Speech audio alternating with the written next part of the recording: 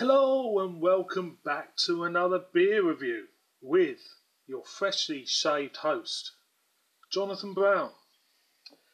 That's right, boys and girls, welcome to a beer review. We are going to Lancaster.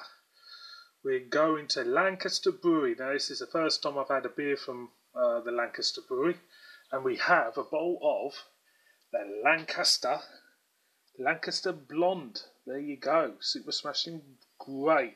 Bit of a razzle dazzle in the old uh, sunlight there. There's the backside. 4% ABV. There you go.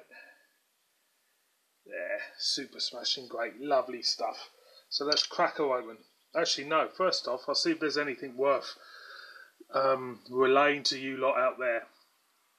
Um, it's not saying any hops. It's not. It's saying it goes with Morecambe Bay sea bass or French onion soup. It's not saying anything else. It's not saying anything really. Uh, just giving you what appearance it would be and what aroma, what flavour it might be, and that's it. So, crack her open.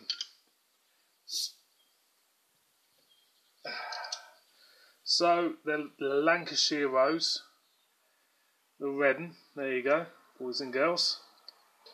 Let's see what we get from there.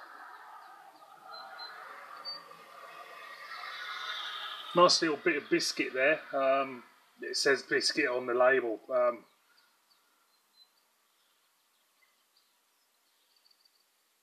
it's like um, I used to get Garibaldi biscuits with a little bit of sticky lemon on them. You know, maybe it is Garibaldi biscuit I'm getting. Something like that. It's, it's, it's, it's nice. It's very pleasant. So let's whack her in. She's gonna come out blonde quite a clear looking beer. Loads of carbonation rattling off there, as you can see. Uh, very clean looking. Head's just dissipating down, it's just plopping down, and she's in. So, appearance.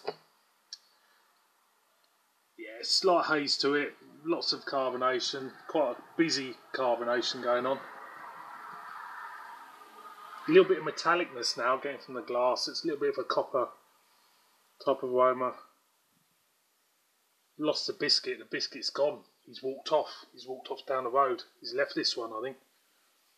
I'm going to go in, so cheers.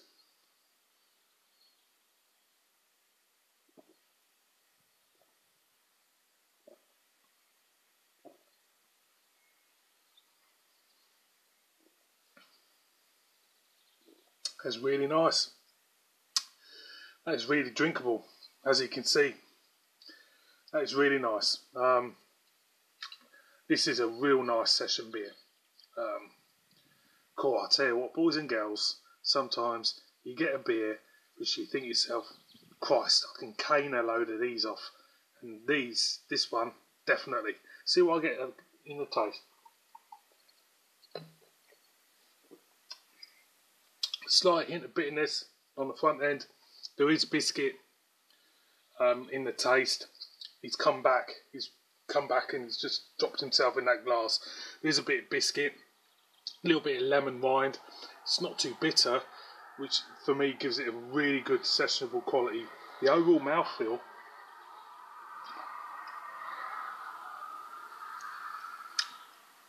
it's pretty smooth, really.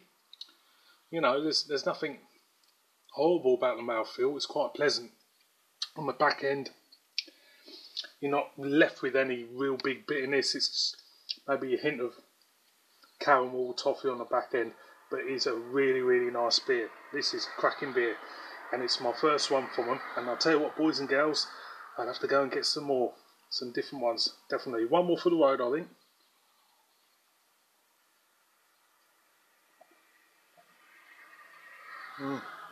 That is a real session of that. Boys and girls, Lancaster Blonde. Pick one up, enjoy it. It's really, really nice. Really, really nice. And I think lager drinkers would like that too. Um, see you, boys and girls, on my next one. Cheers.